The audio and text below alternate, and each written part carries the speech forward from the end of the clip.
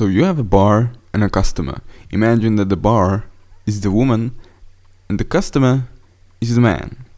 So basically, what happens here is that the customer comes into the bar, he enjoys his time, right?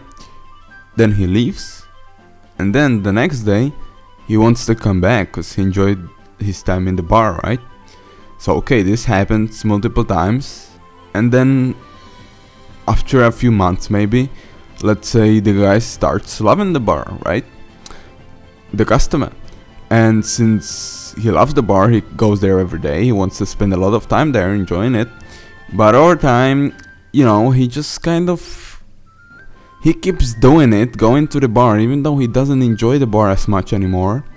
And the bar, of course, doesn't have only one customer because that wouldn't really be effective, that wouldn't be a reliable income, and the bar wa wants more income. So the bar has many customers, about which the one customer doesn't. I mean, he might see the few customers that are orbiting around the bar that they are there, but the customer doesn't know that the other customers enjoy their time in the bar so much as he does. What does this mean? Well, basically, there are many customers in one bar that are enjoying their time, you know. Just you must you must expect it even though you might not know about it. And well, this is why you can't really or you shouldn't probably hate women, you know. It kind of makes sense what they do. It's just like a bar. It's you know, they are keeping up the economy, they're trying to keep a reliable income, but the point is that this is where the fun part comes because after a while you know this keeps happening and let's say that the customer and the bartender will have a kid right? And then the customer doesn't want to go to the bar anymore he doesn't love the bar anymore he, you know he, he's more mad about it and stuff because of the kid and all that. And after some time he stops going to the bar of course but the kid is there you know. So the same income or even more he still has to pay to the bar and now the bar has the income doesn't have the customer so doesn't have to work on the customer still gets the money. A- and this is like the biggest fun part because the bar doesn't have to do shit now and just takes the money right?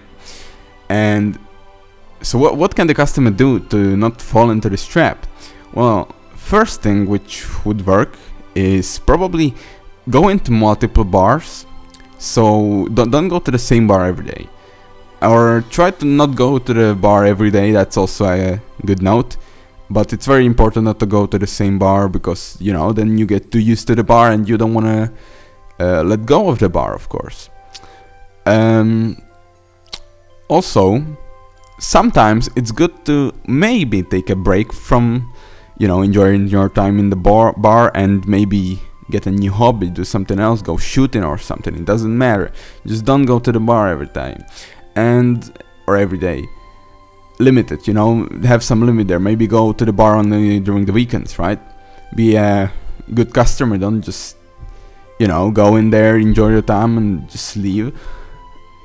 You should also like try to, how would I say it? use your brain when you go there you know don't just go there and enjoy your time because eh, eh, you know it, i mean it's good if you just go enjoy your time but then you have to leave. That that's the part where you use your brain. You can't go there enjoy your time and stay there because th- that's that's just not good you know. Th- then you get used to it. You're like you're comfortable there. Why would you leave and all that shit. And then what might happen like it, it happens a few times. It really depends on the bar. Some bars are more um, how would i say it? Uh, popular uh, because in some bars you go to some bars and they're they have parties right? And that's when there are multiple customers at once and they enjoy their times together. Um, very interesting but what is more usual is that these bars uh, and the customers enjoy their times but it's not all at the same time. And when you think about this what i've just you know said about this whole idea th- this just explains the whole like relationships between men and women when we think about bar as women and the customers as the man so yeah um first thing I, I don't want you know i don't think men should hate women i think that men should understand women and try not to fall into their traps. So maybe I hope that this I, I try to explain it really easily. So I hope that this opens your eyes and yeah, don't drink too much.